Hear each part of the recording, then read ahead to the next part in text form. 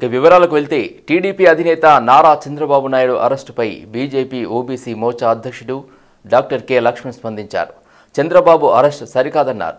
ఎలాంటి వివరణ అడగకుండా టీడీపీ అధినేతను అరెస్ట్ చేశారన్నారు. ఎఫ్ఐఆర్లో పేరు చేర్చకుండానే అరెస్ట్ చేయడం సరికాదన్నారు. ఆయన్ను అరెస్ట్ చేసిన తీరును బీజేపీ తప్పుపడుతుందన్నారు. అరెస్టు అది సబబు కాదు.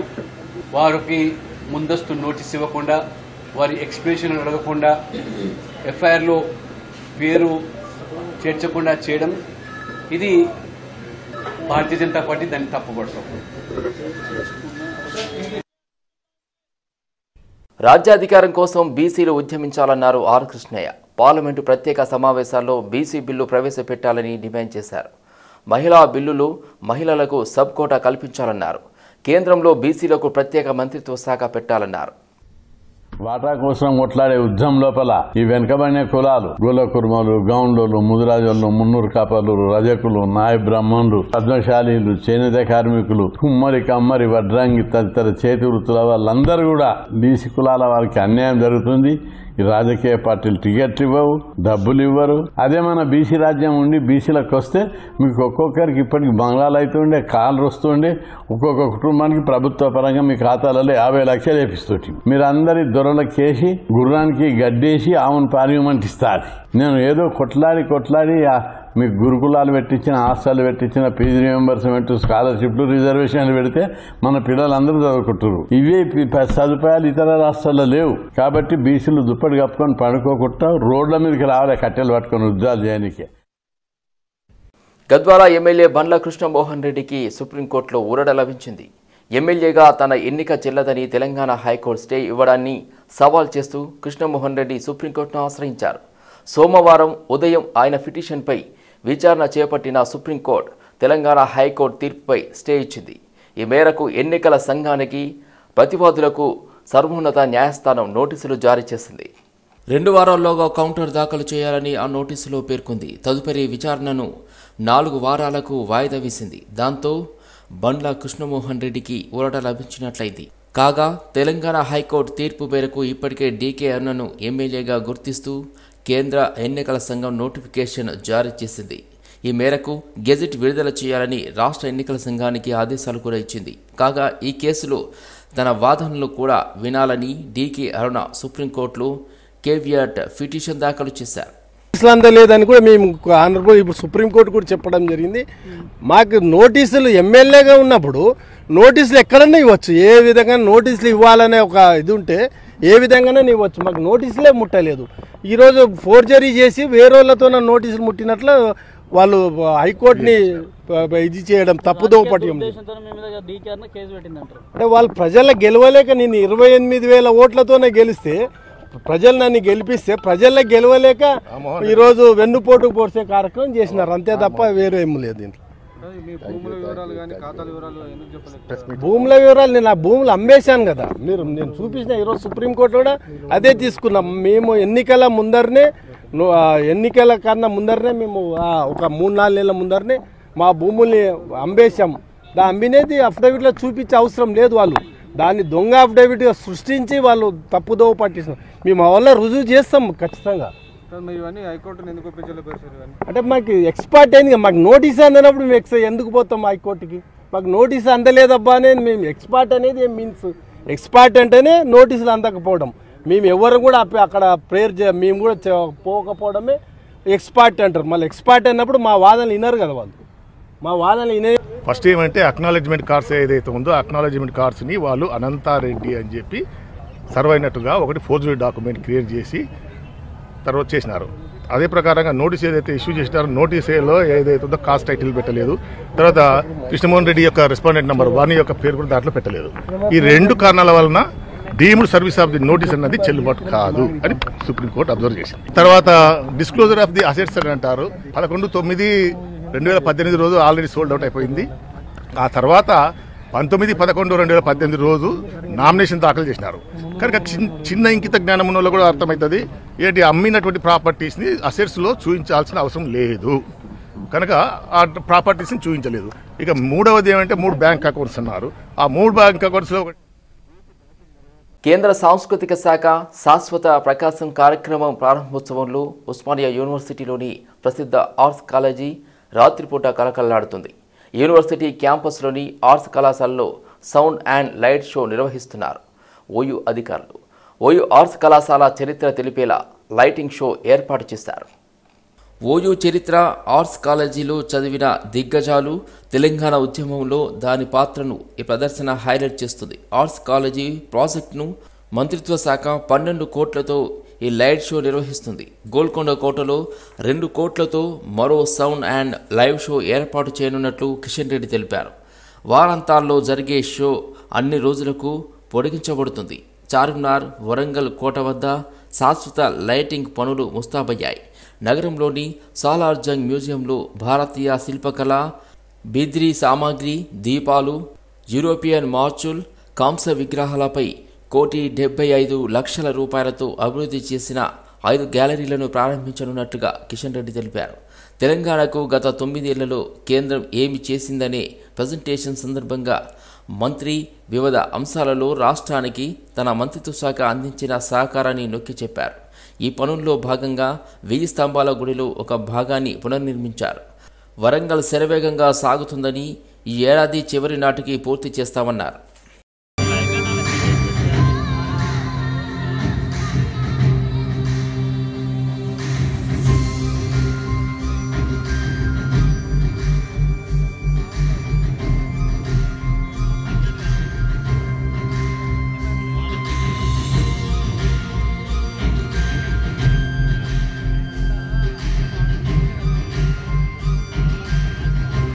జూబ్లీహిల్స్ నియోజకవర్గ పరిధిలోని వెంగళరావు నగర్లోని తెలంగాణ ఫార్మసీ కౌన్సిల్లో ఈరోజు నామినేషన్ వేయడం జరిగింది. ఈ కార్యక్రమంలో తెలంగాణ ఫార్మా అసోసియేషన్ రాష్ట్ర అధ్యక్షులు కొలిపాక బాలరాజు ఉపాధ్యక్షులు Srinivas organizing secretary Chippakurthi Venkatesh IPA president Teja Aleem Adarsh Surender Satish తదితరులు పాల్గొన్నారు. మీడియా మిత్రులకు నమస్కారం. ఈ సందర్భంగా తెలంగాణ రాష్ట్రం అంటేనే ఒకప్పుడు బ్రిటిష్ వాళ్ళు పరిపాలించాలి మనల్ని. నైజాంలు పరిపాలించారు. నైజాంలో తన్ని తరిమిన గడ్డ ఈ తెలంగాణ గడ్డ. ఒక సాయుధ పోరాట భూమి కోసం బుత్తి కోసం రావి నారాయణ రెడ్డి ఒక సాకలేలమ్మటువంటి గడ్డ ఈ గడ్డ.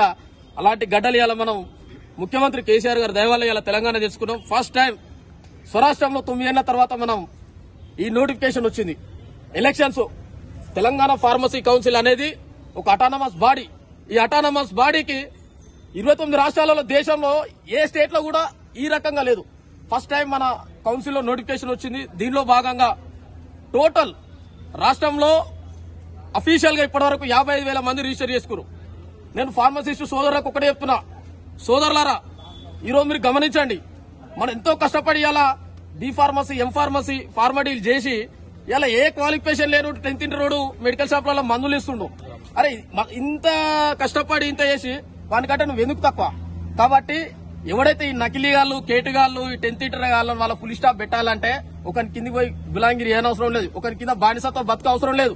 మీరు ఒకటే బాజాప్తుగా తెలంగాణ ఫార్మసీ కౌన్సిల్లో ఆరు కారు ఐపీఏ టీపీఏ ఇంకా మనం కొంతమంది పొత్తులతో భాగంగా వస్తుంది అనుబంధ సంఘాలు. ఆరు కారు గెలిపించారు అనుకో రేపు పొద్దుగల కౌన్సిల్లో మీరు ఏదంటే అది కుర్చేసుకొని కాదు మీ మీదే కుర్చీ ఏదంటే అది. నీకు వన్ డేలో సర్టిఫికేట్ ఇష్యూ చేపిస్తాం. ఏదంటే అది. మీకోసం అండగా ఉంటాం. Twenty four into seven. ఏ అర్ధరాత్రి ఫోన్ పెట్టాను మేము అందుబాటులో ఉంటాం. బ్రదర్ ఒకటి గుర్తుపెట్టుకోండి. మేము వాళ్ళ లెక్క వీళ్ళ లెక్క ముచ్చట్లు పెట్టేవాళ్ళం కాదు. స్టిల్ నవ్వు గ్రౌండ్ వర్క్లో వర్క్ చేసిన వాళ్ళం సోమాజిగూడ ప్రెస్ క్లబ్లో మీటింగ్ పెడితే చాలా మంది దుండగులు మా మీద ఒక థ్రెట్ ఇచ్చారు. థ్రెట్ ఇచ్చిన దేనికి భయపడలే. అప్పుడున్న డీజీ ప్రీతి మీనా మేడం కలిసాము వంద మందితో డీజీ ఆఫీస్ ముట్టడి చేస్తే అరెస్ట్ చేసి అక్రమ అరెస్ట్ కూడా భయపడలే. డీజీని కలిసి కూడా మేడం తీర్పుడని చిత్త రెండు రోజులలో మాకు సర్కులర్ రిలీజ్ చేయగలిగింది ఆ తర్వాత మరుక్షణం ఈ షెడ్యూల్ కే అమెండ్మెంట్ యాక్ట్ ఇబ్బంది అవుతుందంటే ధర్మదీక్ష చేసాం ఎక్కడ? ధర్నా చౌక్లో ఆ ధర్మదీక్ష ఎఫెక్ట్ తోటి రాష్ట్ర వ్యాప్తంగా సెన్సేషన్ ఏంటంటే ఒక raiding చేపించినాం. Home guard association JAC chairman Sakinala నారాయణకు బెయిల్ మంజూరు చేసింది Nampally criminal court. Home guard Ravinder కాలిన గాయాలతో మృతి చెందారు. కాలిన గాయాలతో ఆసుపత్రిలో చికిత్స పొందుతున్న హోంగార్డ్ రవీందర్ను పరామర్శించడానికి వెళ్ళిన తనను పోలీసులు అరెస్ట్ చేసి సిసిఎస్ పోలీసులకు అప్పగించడం జరిగిందని సకినాల నారాయణ తెలిపారు. తనకు స్టేషన్ బెయిల్ ఇవ్వకుండా రిమాండ్కు తరలించడం సరైనది కాదన్నారు. హోంగార్డులకు సీఎం అసెంబ్లీ సాక్షిగా ఇచ్చిన హామీలను నెరవేర్చాలని కోరారు. ఒక స్టేషన్ బెయిల్ ఇచ్చే వ్యక్తికి కూడా రిమాండ్కి పంపించి కోర్టు చుట్టూ తిప్పే పరిస్థితి ఈ పోలీస్ ఆఫీసర్స్ చేశారు. మెజిస్ట్రేట్ గారు కూడా దయచేసి ఆ ఏసీపీ గారికి చెప్పడం జరిగింది. ఈ స్టేషన్ బెయిల్ ఉన్నాక కూడా వారు ఈ రిమాండ్ చేసి ఈ కోర్టు వద్ద ఎందుకు తీసుకొచ్చారని అడగడం జరిగింది. అప్పుడు ఆయనకు ఏ సమాధానం లేకుండా మా పై ఆఫీసర్ డైరెక్షన్లోనే మేము పనిచేశామని సబ్మిషన్ జరిగింది. మనం ఈరోజు చూస్తున్నాము హోంగార్డ్ అనే సమస్య ఒక్క మంచి సమస్య కాదు. రవీందర్ అనే హోంగార్డు చనిపోయాం చనిపోవడం జరిగిన తర్వాత ఈ ఈ రాష్ట్రవ్యాప్తంగా అందరికీ తెలిసింది హోంగార్డుల సమస్య ఎంత బీభత్సంగా నడుస్తుంది. వాళ్ళకు ఎలాంటి భద్రత లేదు. ఎలాంటి సోషల్ సెక్యూరిటీ లేదు. ఒక సెక్యూరిటీ గార్డు ఒక ఏటీఎం వైపు నిల్చున్న సెక్యూరిటీ గార్డ్ కూడా ఒక పిఎఫ్ ఈఎస్ఐ ఉన్న వ్యక్తి కానీ ఒక హోమ్ గార్డ్కి డైలీ వేజెస్ కింద బానిసులు కింద పని చేసుకునే వ్యవస్థ లాగా తయారు అయ్యింది ఇలాంటి వ్యవస్థలో వాళ్ళకు అట్లీస్ట్ వాళ్ళు పొల్యూషన్ కింద పనిచేస్తారు థ్రెట్ కింద పనిచేస్తారు మంచోళ్ళతో పనిచేస్తారు. ఖైదీలతో పనిచేస్తున్నారు. వాళ్ళకు లైఫ్ థ్రెట్ ఉన్నా కూడా ఒక మంచి ఒక హోమ్ గార్డ్ చనిపోయిన తర్వాత ఆయనకు ఎలాంటి సోషల్ సెక్యూరిటీ అనేది కలుగు చేయట్లేదు. మరి నేను మొన్న రవీందర్ మరి పెట్రోల్ పోసుకొని చనిపోవడానికి ప్రయత్నం చేయడం జరిగింది. ఆ విషయం తెలుసుకున్న నేను వెంటనే బెల్లంపల్లి నుంచి మరి మన ఆ, ఉస్మానియా హాస్పిటల్ రావడం జరిగింది. అక్కడికి వచ్చి చూస్తే కూడా నన్ను చూడనీయకుండా ఇబ్బంది పెట్టడం జరిగింది. దాని విషయంలో ప్రతి ఒక్కరిని రిక్వెస్ట్ చేసినా కానీ ఎవరు సపోర్ట్ చేయకుండా మరి రాష్ట్ర ప్రభుత్వం ఏదో ఒత్తిడి తీసుకొచ్చినట్టుగా నన్ను ఇబ్బంది పెడుతూ నన్ను చూడనీయకుండా వెంబడే అక్కడి నుంచి ఉస్మానియా నుంచి అపోలోకు ట్రాన్స్ఫర్ చేసి ఒక రవీందర్ను మరి ఇబ్బంది పెట్టడం జరిగింది. అదే రోజు మరి రాత్రి నాకు తెల్లవారి మూడు గంటల వరకు అక్కడే ఉన్న నన్ను మరి టాస్క్ ఫోర్స్ వాళ్ళు తీసుకుపోయి తీసుకుపోయి దాని తర్వాత మన సి సిసిఎస్ వాళ్ళకి అప్పచెప్పేసి వాళ్ళ ద్వారా నా మీద కేసు ఫైల్ చేయించడం అనేది జరిగింది. ఇది స్టేషన్ బెయిల్ అయినా కానీ నాకు స్టేషన్ బెయిల్ ఇవ్వకుండా నన్ను మరి జైల్లో పెట్టేటువంటి ఆలోచనతో ఉన్నటువంటి పోలీస్ అధికారులకు నేను రిక్వెస్ట్ చేస్తున్నాను మరి ప్రతి ఒక్కరు కూడా పోలీస్ అధికారులు కూడా ఆలోచించాలి అదేవిధంగా ప్రభుత్వం కూడా ఆలోచించాలి. అవినీతికి తావు లేకుండా ఉచిత విద్య విద్యుత్ ఆరోగ్య సంక్షేమ సౌకర్యాలను అందించడానికి ప్రభుత్వ నిధులను ఉపయోగిస్తామని హామీ ఇచ్చింది ఆమ్ ఆద్మీ పార్టీ. ఇదే తరహాలో రాష్ట్ర వ్యాప్తంగా ప్రచారం నిర్వహించి వచ్చే అసెంబ్లీ ఎన్నికల్లో ఖాతా తెరుస్తామని ఆప్ తెలంగాణ రాష్ట్ర కన్వీనర్ డాక్టర్ దిడ్డి సుధాకర్ పేర్కొన్నారు. నూట పంతొమ్మిది అసెంబ్లీ నియోజకవర్గాల్లో ఆప్ అభ్యర్థుల గెలుపు కోసం వ్యూహాలు రూపొందించడానికి సెప్టెంబర్ ఇరవై నాలుగున హైదరాబాద్లో ఆప్ వాలంటీర్ల రాష్ట్ర సదస్సు నిర్వహిస్తున్నామన్నారు దిడ్డి సుధాకర్. బీజేపీ బీఆర్ఎస్ ప్రజా వ్యతిరేక నినాదాలు వారి అవినీతి పాలన నిరుద్యోగం ఇంధన ధరలు పెరగడం వివిధ ఆహార పదార్థాలపై జీఎస్టీ విధించడం వంటి మౌలిక సమస్యలపై రాష్ట్ర వ్యాప్తంగా ప్రజలకు అవగాహన కల్పించే ప్రచార కార్యక్రమం ఇప్పటికే ముమ్మరంగా కొనసాగుతుందన్నారు. ఆమ్ ఆద్మీ పార్టీ రాష్ట్ర వాలంటీర్ల సమావేశం సెప్టెంబర్ ఇరవై నాలుగు నాడు ఆర్టీసీ కళ్యాణ మండపంలో జరగబోతుంది. దానికి ముఖ్య అతిథిగా మన రాష్ట్ర పార్టీ ఇన్ఛార్జ్ ఎమ్మెల్యే మాజీ మినిస్టర్ గారైన సోమనాథ్ భారతి గారు హాజరవుతున్నారు. దీంట్లో ఆమ్ ఆద్మీ పార్టీ రాష్ట్రంలో ఇప్పటి వరకు ఏర్పడిన నూట మూడు నియోజకవర్గాల కన్వీనర్లు ఇంకా కొద్ది కాలంలో మిగతా నియోజకవర్గాల కన్వీనర్ ఏర్పాటు చేయడం జరుగుతుంది. అలాగే వీరితో పాటుగా అక్కడ మండల ఇన్ఛార్జీలు డివిజన్ ఇన్ఛార్జీలు వాటన్నిటితో పాటు దాదాపు రెండు వేల మందితోటి వాలంటీర్ అంటే ఇదంతా నామినేటెడ్ ఎలక్టెడ్ అపాయింటెడ్ వాలంటీర్ల సమావేశం జరుగుతుంది. ఎందుకంటే తెలంగాణలో అసెంబ్లీ ఎన్నికలకి నగారా మోగింది బీఆర్ఎస్ పార్టీ తన లిస్టును ప్రకటించడం జరిగింది. మిగతా పార్టీలన్నీ కూడా ప్రకటిస్తూనే ఉన్నారు. ఎన్నికలు రాబోతున్నాయి ఒక నాలుగైదు నెలల్లో. కేంద్రం ఈరోజు జమిలి ఎన్నికలు అని చెప్పి కొద్దిగా కన్ఫ్యూజ్ పెడుతున్నా. ఏమున్న ఎన్నికలు అయితే వస్తాయి? సరే ఎలా వస్తాయి? ఏమొచ్చినా కానీ ఆమ్ ఆద్మీ పార్టీ కూడా ఎన్నికలకి సిద్ధమవుతుంది రాష్ట్రంలో ఉన్న అన్ని నియోజకవర్గాలకి పోటీ పెట్టబోతున్నాం. ఎందుకంటే టీం ఇండియా ఒకటి ఫామ్ అయింది. ఇండియా లెవెల్లో దాదాపు ఇరవై ఎనిమిది పార్టీలతో కలిపి ఈ టీం ఇండియా రాష్ట్ర ఎన్నికలకి ఉండదనే మేము అనుకుంటున్నాం. ఇంతవరకు సరైన అక్కడి నుంచి ఆదేశాలు రాలేదు. కాబట్టి మేము అనుకునేది ఏంటంటే ఇండియా పార్లమెంట్ ఎన్నికలకు ఉంటుంది కాబట్టి ఈ రాష్ట్రంలో మేము ఒంటరిగానే అన్ని నియోజకవర్గాలకి పోటీ చేస్తామని సన్నద్ధమవుతూనే ఉన్నాం. దాంట్లో భాగంగానే ఇరవై నాలుగో తారీఖు నాడు ఆర్టీసీ కళ్యాణ మండపంలో వాలంటీర్ల సమావేశం జరుగుతుంది. ఆ తర్వాత ఈ నియోజకవర్గాల్లో బూత్ లెవెల్ ఇన్ఛార్జీలను ఏర్పాటు చేసుకుని మేము మా విధాన ప్రకటన ప్రకటించడం జరుగుతుంది. మేనిఫెస్టో ప్రకటిస్తాం. ఎందుకంటే మీ అందరికీ తెలుసు ఆమ్ ఆద్మీ పార్టీ మేనిఫెస్టో ప్రధానంగా ఈ దేశ కాన్స్టిట్యూషన్లో ఏదైతే హక్కులు కల్పించారో వాటి కోసం ప్రధానంగానే పనిచేస్తుంది. అమెరికా పర్యటన ముగించుకొని నేడు హైదరాబాద్ వస్తున్న బీజేపీ జాతీయ ప్రధాన కార్యదర్శి బండి సంజయ్కి శంషాబాద్ విమానాశ్రయంలో ఘనస్వాగతం పలకనున్నారు. బీజేపీ రాష్ట్ర కార్యవర్గ సభ్యులు బుక్కా వేణుగోపాల్ అమెరికా పర్యటన ముగించుకుని హైదరాబాద్ వస్తున్న బీజేపీ జాతీయ ప్రధాన కార్యదర్శి బండి సంజయ్కి శంషాబాద్ విమానాశ్రయంలో ఘనస్వాగతం పలికేందుకు వెళ్ళనున్నారు బీజేపీ రాష్ట్ర కార్యవర్గ సభ్యుడు బుక్కా వేణుగోపాల్. ఎస్ఆర్ కన్వెన్షన్లో భోజనం అనంతరం కలిసి విమానాశ్రయంలో ర్యాలీగా వెళ్ళి ఘనస్వాగతం పలుకుదామని రాజేంద్రనగర్ నియోజకవర్గ బీజేపీ ప్రజాప్రతినిధులు వివిధ మోర్చాల రాష్ట్ర జిల్లా మండల డివిజన్ గ్రామ పదాధికారులు కార్యకర్తలకు పిలుపునిచ్చారు. కాంగ్రెస్ పార్టీలోకి చేరికలు కొనసాగుతున్నాయి. తాజాగా మాజీ ఎమ్మెల్యే కాంగ్రెస్లో చేరనున్నారు. దివంగత ఎమ్మెల్యే కొత్తకోట దయాకర్ రెడ్డి భార్య మాజీ ఎమ్మెల్యే సీతా దయాకర్ రెడ్డి కాంగ్రెస్ పార్టీలో చేరబోతున్నారు. సెప్టెంబర్ పదకొండవ తేదీ సాయంత్రం తెలంగాణ వ్యవహారాల ఇన్ఛార్జిగా మాణిక్రావు ఠాక్రే పీసీసీ చీఫ్ రేవంత్ రెడ్డి సమక్షంలో పార్టీలో జాయిన్ అవనున్నారు. కాంగ్రెస్ పార్టీలోకి సీతా దయాకర్ రెడ్డి ఆమె కుమారులు కొత్తకోట సిద్ధార్థారెడ్డి కార్తిక్ రెడ్డితో పాటు పెద్ద సంఖ్యలో ఆమె అనుచరులు కాంగ్రెస్ కండువా కప్పుకోనున్నారు. ఈ మేరకు మహబూబ్ నగర్ జిల్లా దేవరకద్ర మక్తల్ నారాయణపేట నియోజకవర్గాల నుంచి సీతా దయాకర్ రెడ్డి నాయకులు అనుచరులు గాంధీ భవన్ తరలి వస్తున్నారు. తెలంగాణలో కాంగ్రెస్ అధికారంలోకి రావడం ఖాయమన్నారు రేవంత్ రెడ్డి. పిసిసి అధ్యక్షులు మహారాష్ట్ర హోంమంత్రిగా పనిచేసి సుదీర్ఘమైన అనుభవం ఉన్న మాణిక్రావు ఠాక్రే గారు మన తెలంగాణ రాష్ట్ర కాంగ్రెస్ పార్టీ ఇన్ఛార్జ్గా వారి బాధ్యతలు తీసుకున్న తర్వాత ఈరోజు తెలంగాణ రాష్ట్రంలో కాంగ్రెస్ పార్టీ వేగంగా అధికారం వైపు దూసుకెళ్తున్నది.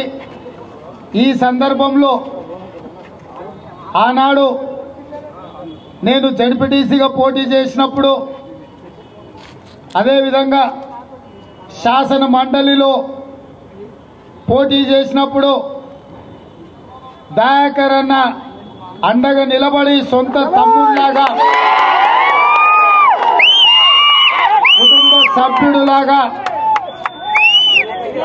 ఆనాడు రాజకీయంలో ఎంబడుండి కొత్తకోట దయాకర్ రెడ్డి గారు చేతి పట్టుకొని నడిపించారు